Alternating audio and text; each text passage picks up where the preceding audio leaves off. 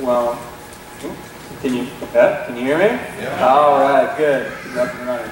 Um, so I just want to say, first off, thank you to you, and just um, thanks to God for inviting me here to come and speak and, and to share a word on leadership and, and what God's doing in His church. And, and um, it's, it's an amazing time, uh, I feel, in just being thankful to the Lord uh, while we're approaching Thanksgiving. And we'll have tons of food and fill our bellies and, and then feel maybe slightly sick for eating so much afterwards, which is always good because then you have to shed a few pounds, but that's, or not. But, uh, but, uh, but I do want to say thank you and, and thank you to the Lord for um, being able to speak this morning.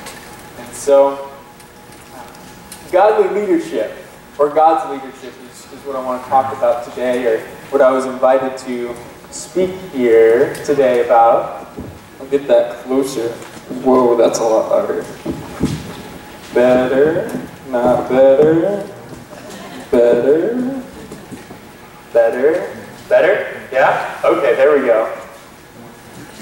Um, and and I was told, uh, Lee told me he was doing a series this uh, this month on, on different topics, and um, and if I would like, I could speak on any of the topics. And, and godly leadership really struck me uh, when when that when I heard that that was an option. So I'm going to talk about God's leadership this morning, and and building up to today, I was thinking about godly leadership, and so I just I stopped and started writing different qualities and thinking about different qualities you might see in a leader. Know, I came across different characteristics you might see in a leader, uh, but none of the characteristics seemed to satisfy what I felt was a true leader of God. Um, I mean, they were characteristics, but you could see them. Uh, God's leadership takes on multiple characteristics. There's many types of leadership. So they all fall, fell short in finding a definition um, that could define what true godly leadership was. And then as I thought and prayed about it more, uh, it, it came to me that godly leadership is not defined so much by characteristics, but that um, you know we see in the Bible time and time again God takes uncommon people or common people to do extraordinary things. So He takes common people to do extraordinary things. Many of them have character flaws and things that don't really make them look like they would be a good leader. So a person's leadership does not depend so much upon them, but rather it depends first and foremost on their relationship with God and the condition of their heart. God is the definition of a leader because God is the ultimate leader. So our leadership is not based in ourselves, but it's based first and foremost in God. Who is the one who really leads? And whenever we, we read in the Bible and see that a, a leader would stray from God, that's when things would really go wrong. We see that time and time again in the Old Testament with the kings of Israel who were anointed, or they were the leaders of the country, but God had to strike them down or bring someone else into leadership because their hearts weren't following the Lord. So, if you'll slide, go to the next slide. These are the four central main points um, that I found in maybe leadership and godly leadership. First and foremost, a relationship with God through Jesus Christ.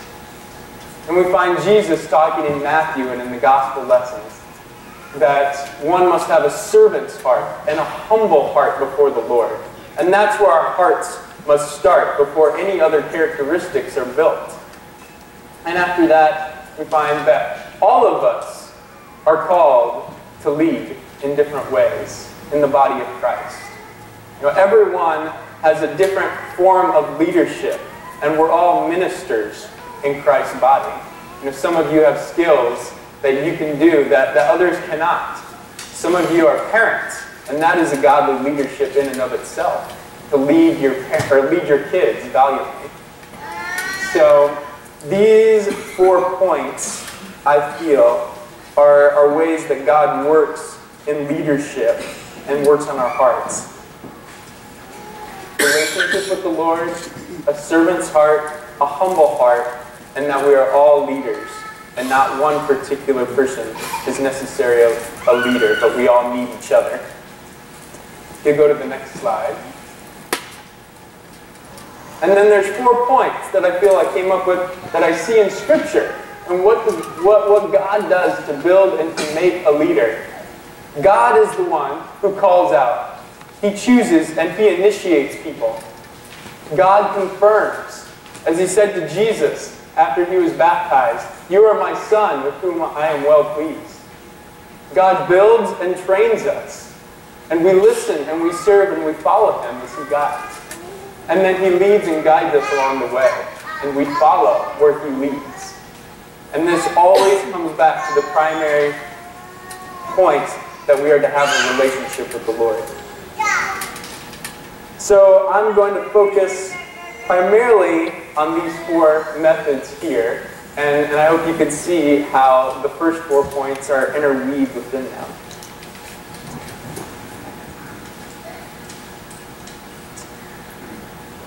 First point in how we are called out by God and how God calls us out. What does it look like to be called out by God? Let's first take a look at the story of Moses. Moses was a common man. He was a sheep herder. He was walking out in the pasture one day with his flock, and he stumbled upon a burning bush. That would probably scare a lot of people. Whoa, this bush is burning, but it's not actually burning up. Uh, and from the bush, God spoke. And he told Moses to go to Pharaoh and let the Israelites go free. Moses was just called out by God. Moses said, and he felt that he was the wrong person, and he asked God to send someone else. But God had a different plan, and God wanted Moses. God equipped Moses with signs and wonders. He could have chosen someone else, someone who was a better speaker, or someone who wasn't afraid. But he called Moses out. He chose him, and he set him apart. Moses didn't have qualities that seemed great. But when Moses goes to Egypt, God has built and trained him up so that he could be a strong leader, a strong voice, and a new man. God transformed Moses into the man he needed for his will. So I want to bring this back. What does that look like in your life? Is God calling you out right now? Are you doing what God wants you to do? Or maybe are you afraid, just like Moses was? Maybe God's calling you to step out and lead. Has God ever told you to do something and you shied away from doing it? Don't be afraid, but put your strength in the Lord. Maybe God's calling you out where you work or at school. Maybe He wants you to go to speak to someone specifically. Maybe He wants you to, to step up and lead here in the church congregation in one way or the next. And there's all, all different types of leadership. If you're a parent, you have the responsibility and the joy from the Lord to lead your kids and to lead them spiritually. That is the joyful leadership. Let's move on to point number two God confirms. In our own prayers, we seek God's confirmation. We ask God, Is this what you want me to do, God? We seek His will in our daily decisions and wait upon His confirmation and guidance. Being called out by God is different than being confirmed by God. Called out begins with God taking you from one place in your life to another, but confirmation focuses more on God's approval of what is already happening or what is about to happen. After Jesus was baptized in the water, God said, This is my Son with whom I am well pleased. At that moment, Jesus received confirmation from his Father. This, I could imagine, was an extremely important moment in Jesus' life to receive that confirmation. And everyone in here who is a parent or, or has kids knows that their kids seek confirmation from them. You know, Dad, Dad, did I do it right? Or, or eh, Do I have what it takes? Kids long for their parents' confirmation and to know that they have what it takes, that they're worth it, and that they can do it. And this is exactly what Jesus had at that moment, where God said, You have what it takes, and I'm pleased with you. The story of Jehu today uh, from the Old Testament is one of my favorite stories, and um, for a variety of reasons. But, but there's a lot of excitement going on in there. Um, who, who in here has read the story of Jehu before? Just, raise your hand. So it's a pretty crazy story, and Jehu was a pretty crazy and wild man. But Jehu was the highest ranking commander in the Israelite armies. And he was with his troops when the young soldier, or, or he was with his troops when the young prophet, who was sent by Elisha, came running into the camp. Jehu then goes into the small room with the young prophet, and the prophet anoints him as king, an anointing that came from God himself. In ways you can see both confirmation and being called out happening right here at this moment. But it was coming from God through the prophet. After that, we see, see Jehu taking up his call from God, killing the kings who were desecrating God's temple and who had strayed from God. He kills the kings. He kills all the king's sons, which were 70, 70 total. And then he goes and kills all the, uh, the prophets who were, you could say, prophets to idols, or not prophets, the priests of the idols. And so Jehu was anointed as king by God because he was a wild man and he was fierce. And God knew that he could trust Jehu to stop idol worship in Israel. So God confirmed Jehu as king and led him valiantly through those trials. Now, how do we apply this to our own lives? God can confirm things in your own lives in a variety of ways. Someone else may come to you and say, I was praying for you, and I feel God wants me to tell you this. Or you may notice circumstances in your life that seem to be confirming everything that God is leading you towards. You, you, you might have been praying for it, and you just see little things start to line up and happen, and how God is confirming that you are doing what He wants you to do. It may be a song on the radio, scriptures that come to your heart, or the presence of the Spirit leading you into the right situations. I, I had a prayer on my heart uh, one time through the summer here. Um, I, I, just, my heart was really going out to young men and wanting to help train uh, young men to be godly men. And uh, I had an old friend call me uh, who's a student at VB, and he said, Eric, we're doing a Bible study down here, and we're going through the book Wild at Heart by John Eldredge. And, uh, you know, I really, I was praying about it, and, and I felt God telling me that I should call you and ask you to come mentor us as men, and, and mentor me as a young man. And so just a prayer of my heart had been confirmed and answered um, by God, and, and, it's, it's been an amazing time with them. We're, my dad, he's here. Uh, we were out at the farm just yesterday. Uh, we were shooting guns and, and riding four-wheelers and, and um, throwing tomahawks and, and uh, shooting bows and doing a bunch of wild and crazy things. But at the same time, we've been going through this book and, and how does God call us out to be men? And, um, and so it's been a transformation process for all of us since the start, start of their school year. But God confirms. He calls out and he confirms us. Point number three, God builds and trains. If God wants someone to lead, he will prepare the person for the task ahead. We see this throughout the scriptures. God prepares his leaders.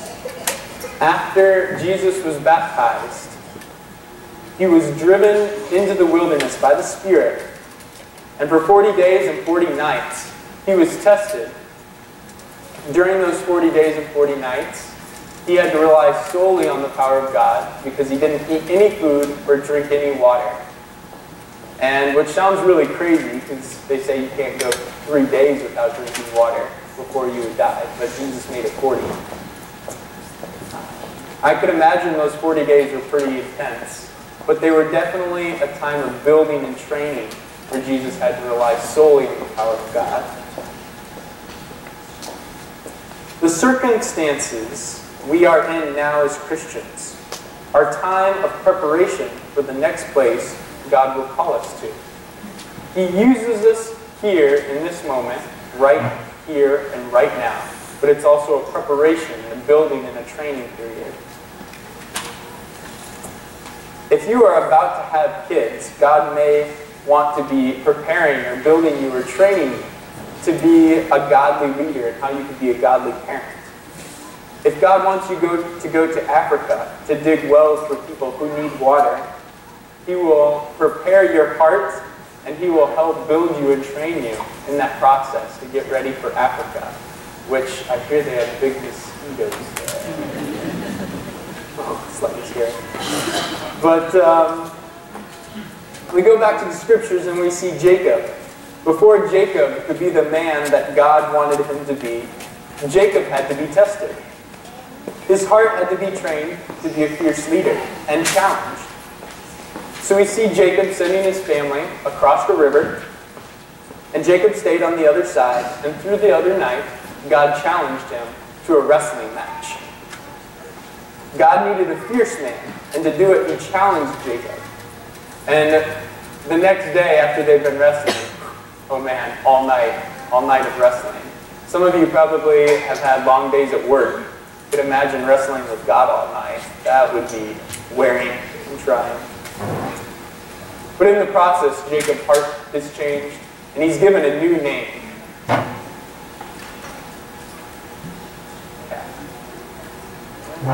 Okay. Now I ask the question, in what ways is God building and training you? Is God training you to rely on Him more? What circumstances are you in? You know, do you need more faith? Do you desire to lead a small group but aren't sure how? And how is God preparing your heart for what's next? How is He building and training you right where you're at right now? We'll go to point number four. God leads and guides the way, and we follow. When we sum it all up at the end, we must fall back on our knees and let God guide and direct our lives. Our lives are not, a, not our own, and we were bought with a price.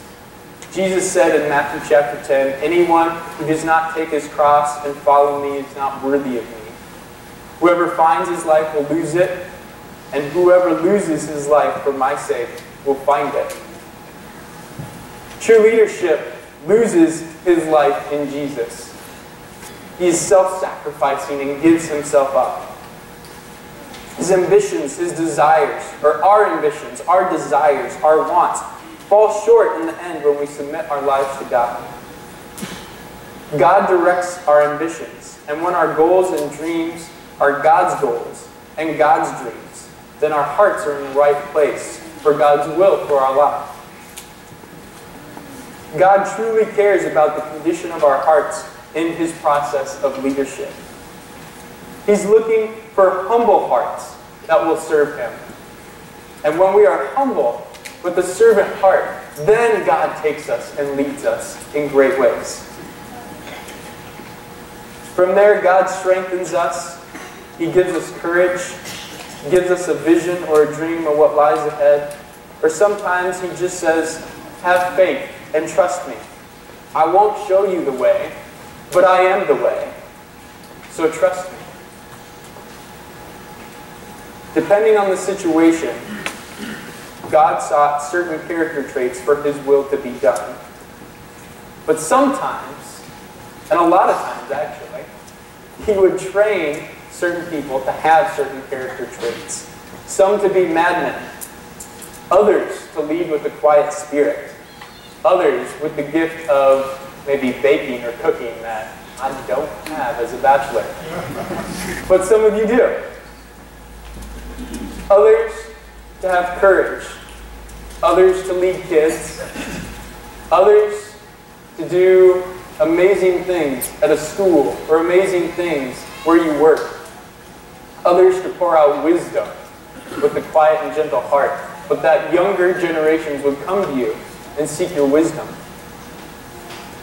There's many different types of leadership, but true leadership will always follow God first. And when you follow God first, then you can't go wrong.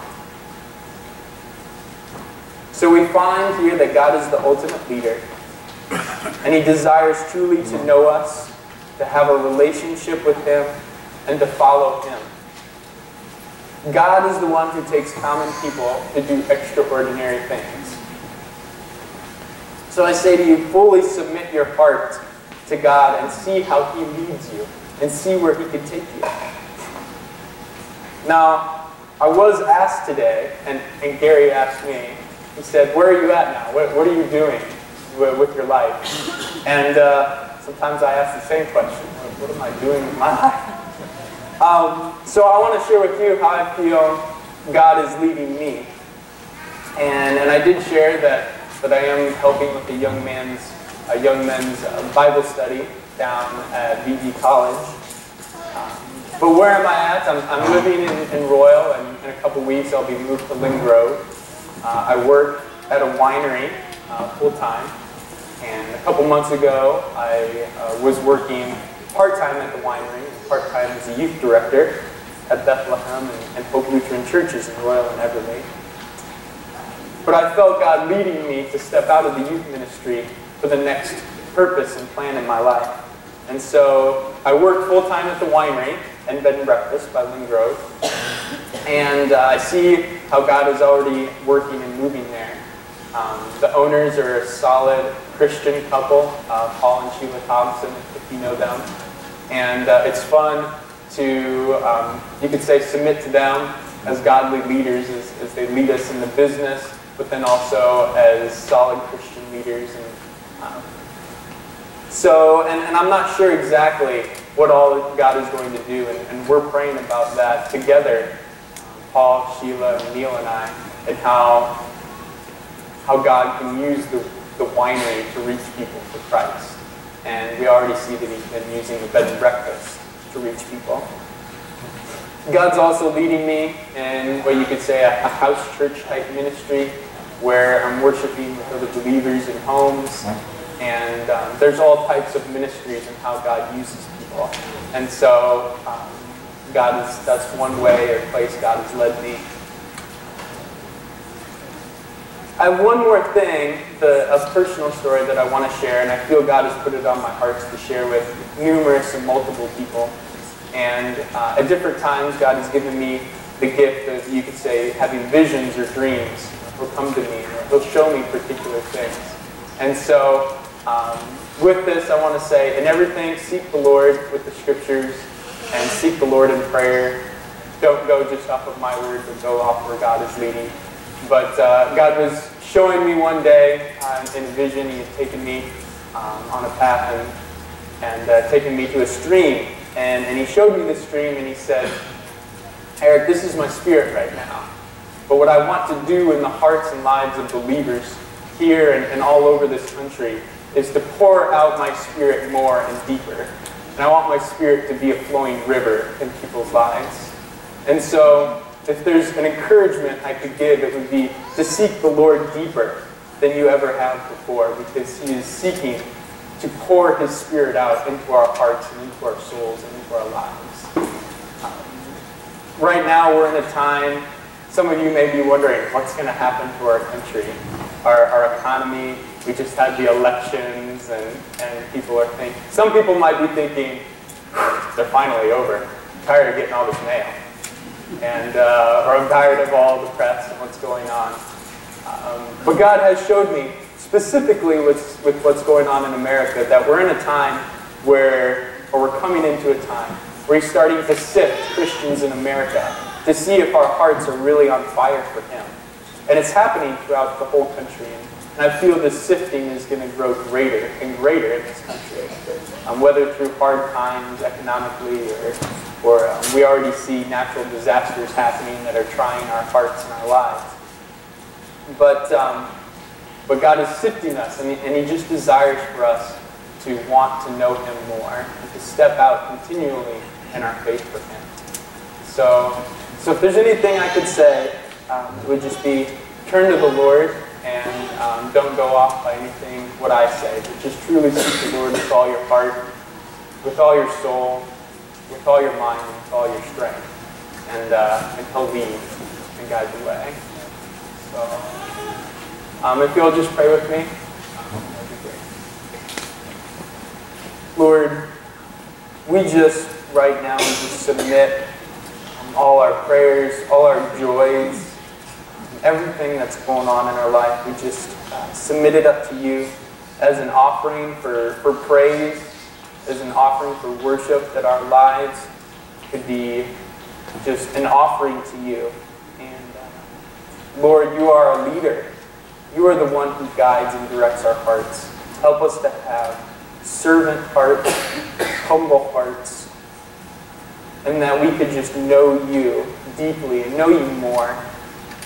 And just as we were singing about earlier, Lord, I just pray that the power of your Spirit would work and move amongst us as, as, as your body, as Christians, that, that you would just be a wellspring of life just pouring inside, and, and that you would just be overflowing from inside of us, full of joy and compassion, but then a spirit of power and strength that only you give us.